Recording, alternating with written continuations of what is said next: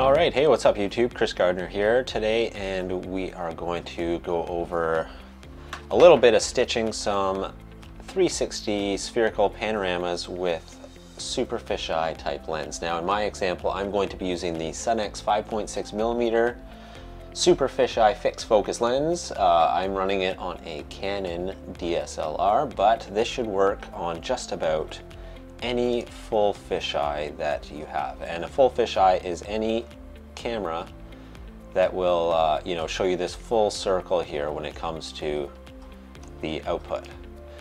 So this was uh, an HDR bracket set, but we, for our purposes, are just going to you know, leave out the extra frames and we're just going to go with the neutral exposures because that's all we need here. I am in a software called Hugin, and this is a super powerful um, panorama stitching software and let's just go ahead and see what we get just like this. So I've dragged them in. Uh, the you know this doesn't put metadata about the lens into the file, so it doesn't really know what's happening here. So we're just going to create control points, and Hugin is going to run through its regular process. 37 control points is about normal for what I usually see like this, and then we are going to go and let's get our positions and barrel distortion because this is a whole lot of distortion and we want Hugin to do its best to clean it up. So let's just see what we get. Four pixels is the maximum deviation, which is deviation between one point and another. So that's actually really good.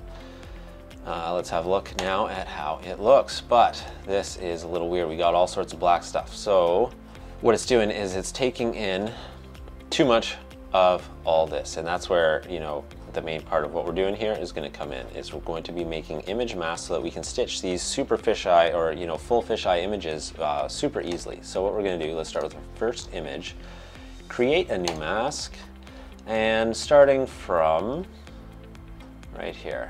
So usually, you know, in your uh, nadir, you are going to have, uh, you know, some amount of your tripod showing likely in almost all cases, your tripod, your tripod head, whatever. So we are going to go ahead and from there mask out all of this stuff. And you know, just the closer you get, the better. This, uh, this lens is 185 degrees. So technically with two shots back to back, you get a full 360 panorama, but that's leaving, you know, uh, next to nothing as far as overlap.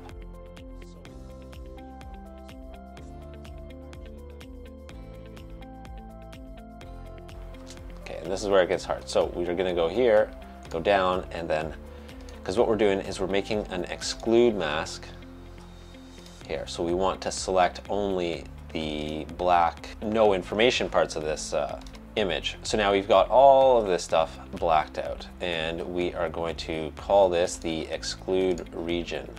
So now all we are going to do is well, what I'd normally do, or what I've already done in the past, is we export this and we save it. It makes this mask file, and usually I put it somewhere, uh, you know, on my my NAS, my you know network storage, so that I can access it from any of my computers whenever I am doing one of these 360 stitches. Uh, but you know, maybe for you it's on your desktop or something. It doesn't actually matter all that much. So we have that ready and now all we want to do is apply the same mask to our other three images. So we got it on this one. Let's go here. Well, first let's go here. Uh, let's copy it. And let's go here and let's paste it. And let's go here again and let's paste it. And now we are good. We can go back to photos. Our control points should be fine, but maybe. Let's just see how it goes here you know, since we've, we've kind of taken away some of the information, let's just see how it does, uh, if it creates any new control points or, or what. And taking its time, okay, had 45 control points. Whether or not they're actually valuable ones, we'll see. Let's calculate this again. And now let's go here. And as you can see, you know, we're, we're still getting some of this clouding, but that clouding is actually not going to exist likely when we finish the panorama. But as you can see, you know, it's doing a much better job at, uh, at keeping this all together. And I wish I didn't offset that horizon line. There we go. Now, you know, this very likely could be all ready to go. So let's just save it, save our project because you need to before it'll let you export. And we're gonna go to my desktop and we'll just call this uh, test for YouTube. And here is our other one, this is the image, and we'll call this final. So now this computer is decently powerful, so we're just going to sit here and uh, watch it happen for a second because we are nearly through the whole thing. And in the meantime, I'll just get ready to pull that up. So as you can see, it's making all of these items are uh, going to be disappeared as soon as it's finished, you see, and here we go, final fused. So, and let's go open that with, uh, automatically open in Photoshop, perfect. Let's just see how it came out. And holy smokes, not too bad at all. Let's just go ahead and look for some of these seams, see if we can spot them. See, here's one, boom, it's gonna cut right down through here, and then by the time it gets a little further away from the camera, we start to not even notice where it happens, which is, uh, you know, great. And see, and there's a remainder, like that's a really good uh, stitch line, would be not noticeable by most people. And here is our other one, so boom, boom, down through there, and again hardly noticeable by the time you get there.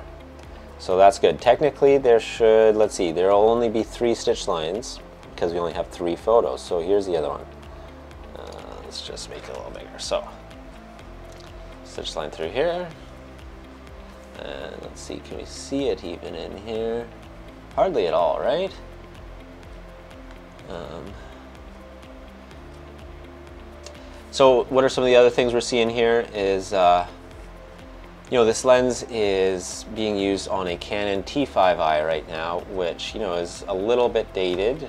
It doesn't handle noise so well, but you are definitely able to get some really, you know, usable and decently high quality 360 panoramas when you are using this lens and this setup you know, it's really uh, a good thing to learn how to use. There are, you know, particularly with this lens, it is meant to come with a an unwarper or a dewarper software, but that's kind of old now, and it's actually a step you can eliminate if you are using Hugin the way I just showed you here.